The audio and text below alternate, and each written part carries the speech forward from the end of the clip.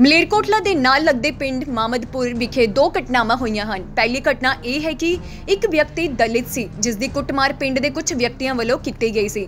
ਜਿਸ ਤੇ ਕਾਰਵਾਈ ਨਾ ਹੁੰਦਿਆਂ ਦੇਖ ਮੌਜੂਦਾ ਪਿੰਡ ਦਾ ਮੈਂਬਰ ਮੋਬਾਈਲ ਟਾਵਰ ਤੇ ਚੜ ਗਿਆ ਅਤੇ ਉਸ ਤੋਂ ਬਾਅਦ ਪਿੰਡ ਦੇ 23 ਸਾਲਾ ਨੌਜਵਾਨਾਂ ਵੱਲੋਂ ਕੋਈ ਜ਼ਹਿਰੀਲੀ ਚੀਜ਼ ਨਿਗਲ ਕੇ ਆਤਮ ਹੱਤਿਆ ਕਰ ਲਈ ਸੀ।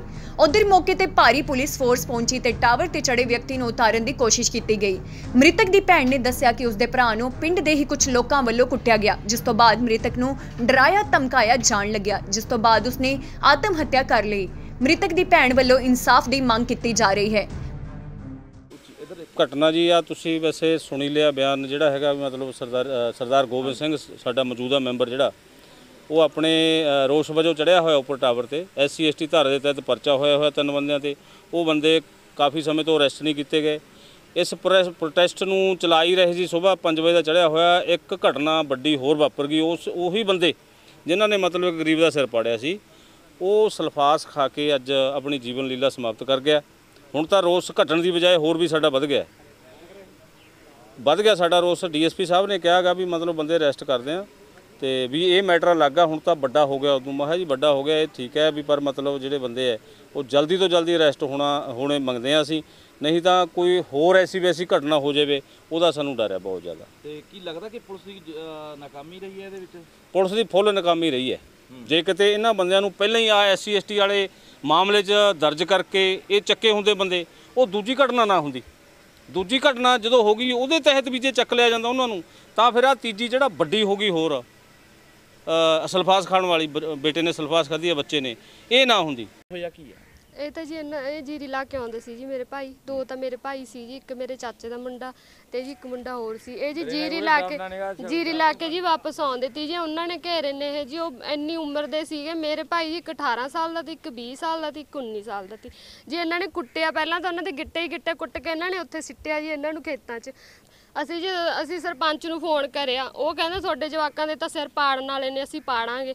ਫਿਰ ਜੀ ਮੇਰਾ ਡੈਡੀ ਦੁਖੀ ਹੋ ਕੇ ਜੀ ਫਿਰ ਉੱਥੇ ਲੈ ਕੇ ਗਏ ਇਹਨਾਂ ਨੂੰ, ਸ- ਅਹ, ਹਸਪਤਾਲ ਚ ਸ਼ੇਰਪੁਰ।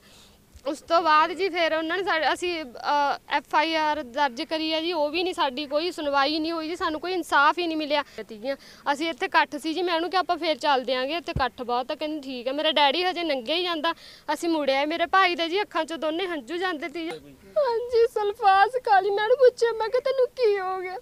ਮੈਂ ਕਿ ਉਲਟੀ ਲੱਗ ਗਈ, ਕਹਿੰਦਾ, ਹਾਂ, ਕਹਿੰਦਾ, ਮੈਂ ਤਾਂ ਦਵਾਈ ਖਾ ਲਈ। ਮੈਂ ਜਿਹਨੂੰ ਕੁਰਸੀ ਤੇ ਬਿਠਾਇਆ, ਮੈਨੂੰ ਕਹਿੰਦਾ, ਪੁਲਿਸ ਵਾਲਿਆਂ ਨੂੰ ਸੱਦ ਲੈ, ਕਹਿੰਦਾ, ਮੈਂ ਦੋ ਬਿਆਨ ਦੇਣੇ ਨੇ ਮੈਨੂੰ, ਕਹਿੰਦਾ। ਤੇ ਮੈਨੂੰ ਕਿਹਾ, ਮੈਂ ਜੀ ਸੱਦਣ ਆਈ, ਉਹਨਾਂ ਨੂੰ ਮੇਰੇ ਪਹਿਲਾਂ ਡੈਡੀ ਨੂੰ ਸੱਦ ਕੇ ਲੈ ਗਈ, ਉੱਥੇ ਉਹ ਖੜੇ ਸੀ ਜੀ, ਮੈਂ ਉਹਨਾਂ ਨੂੰ ਹਾਕ ਮਾਰੀ ਗਈ ਆਜੋ ਜੀ, ਮੇਰੇ ਭਾਈ ਦੇ ਬਿਆਨ ਲੈ ਲਓ। ਆਏ ਨਹੀਂ ਜੀ, ਮੈਂ ਘਰੇ ਕੋਈ ਹੈ ਨਹੀਂ ਸੀਗਾ ਜੀ, ਮੈਂ ਉਹਨੂੰ ਚੱਕ ਕੇ ਭੱਜੀ ਆ ਇੱਥੇ ਸਾਡੇ ਸਟੋਰ ਆ ਫਿਰ ਵੀ ਜੇ ਉਹਨਾਂ ਨੂੰ ਪੁਲਿਸ ਵਾਲਿਆਂ ਨੂੰ ਕਰਦਾ ਜਾਂਦਾ ਮੇਰੇ ਦੋ ਬਿਆਨ ਲੈ ਲਓ। ਜੀ ਉਹਨਾਂ ਨੇ ਕੁਝ ਨਹੀਂ ਸੁਣਿਆ ਉੱਥੇ ਬੈਠਾ ਰਿਹਾ ਬਾਹਰ ਸਟੋ- ਸਾਨੂੰ ਇਨਸਾਫ ਨਹੀਂ ਮਿਲਦਾ ਜੀ ਕੋਈ ਇਨਸਾਫ ਹੀ ਨਹੀਂ ਮਿਲ ਰਿਹਾ ਸਾਨੂੰ। ਸਾਡੀ ਕੋਈ ਸੁਣਦਾ ਹੀ ਨਹੀਂਗਾ ਅੱਜ ਇਸ ਪਿੰਡ ਦੇ ਵਿੱਚ ਇੱਕ ਘਟਨਾ ਹੋਈ ਹੈ ਸਵੇਰੇ। ਇੱਥੇ ਇੱਕ ਅਫਜ਼ਲ ਮੁਹੰਮਦ ਨਾਂ ਦਾ ਲੜਕਾ ਸੀ। ਉਹਨੇ ਕੁਝ ਜ਼ਹਿਰੀਲੀ ਚੀਜ਼ ਖਾਲੀ ਸੀ ਜਿਹਨੂੰ ਹਸਪਤਾਲ ਲੈ ਕੇ ਜਾ ਰਹੇ ਸੀ ਰਸਤੇ 'ਚ ਉਹਦੀ ਮੌਤ ਹੋ ਗਈ। ਤੇ ਉੱਥੇ ਪਿੰਡ ਦੇ ਵਿੱਚ ਇਹ ਹੈ ਕਿ ਉਹਦੀ ਜਿਹੜੀ ਇੱਕ ਸਿਸਟਰ ਹੈ ਸ਼ਬਨਮ, ਉਹਦਾ ਬਿਆਨ ਲਿਖ ਕੇ ਥਾਣੇ ਸ਼ੇਰਪੁਰ ਦੇ ਵਿੱਚ ਜਿਹੜੀ ਅਸੀਂ ਕਾਰਵਾਈ ਕਰ ਰਹੇ ਹਾਂ ਤੇ ਉਹਨਾਂ ਨੇ ਪਿੰਡ ਦੇ ਹੀ ਕਰੀਬ 4 ਬੰਦਿਆਂ ਦੇ ਖਿਲਾਫ ਇਹ ਬਿਆਨ ਲਿਖਾਇਆ। ਇਹਦੀ ਦੇਖੋ ਮੁੱਢਲੀ ਸਟੇਜ ਤੇ ਇਹੀ ਗੱਲ ਆਈ ਆ ਵੀ ਇਹਨਾਂ ਨੇ ਇਹਨੂੰ ਡਰਾਇਆ ਧਮਕਾਇਆ ਵੀ ਤੈਨੂੰ ਸਜ਼ਾ ਹੋ ਜਾਊਗੀ, ਤੈਨੂੰ ਅਸੀਂ ਇਸ ਤਰ੍ਹਾਂ ਹੋ ਜਾਊ। ਤੇ ਉਹ ਮੁੰਡਾ ਬਸ ਘਬਰਾ ਕੇ ਤੇ ਕੋਈ ਜ਼ਹਿਰੀਲੀ ਚੀਜ਼ ਖਾ ਗਿਆ। ਬਾਕੀ ਇਸ ਤੋਂ ਅੱਗੇ ਕਿ ਇਨਵੈਸਟੀਗੇਸ਼ਨ ਦੇ ਵਿੱਚ ਜਿਵੇਂ ਜਿਵੇਂ ਪਾਰਟ ਸਾਡੇ ਕੋਲ ਸਾਹਮਣੇ ਆਊਗਾ, ਅਸੀਂ ਤੁਹਾਨੂੰ ਉਹਦੇ ਬਾਰੇ ਦੇਵਾਂਗੇ ਜਾਣਕਾਰੀ। ਟਾਵਰ ਵਾਲੇ ਮੈਂਬਰ ਬਾਰੇ ਜੇ ਗੱਲ ਕਰਦੇ ਹਾਂ ਟਾਵਰ ਦਾ ਜਿਹੜਾ ਬੰਦਾ, ਉਹਦਾ ਵੀ ਇਸ਼ੂ ਇਹੀ ਹੈਗਾ ਵੀ ਉਹਦੇ ਵੱਲੋਂ ਵੀ ਇੱਕ ਮੁਕੱਦਮਾ ਦਰਜ ਇਹਨਾਂ ਦੇ ਖਿਲਾਫ ਹੋਇਆ।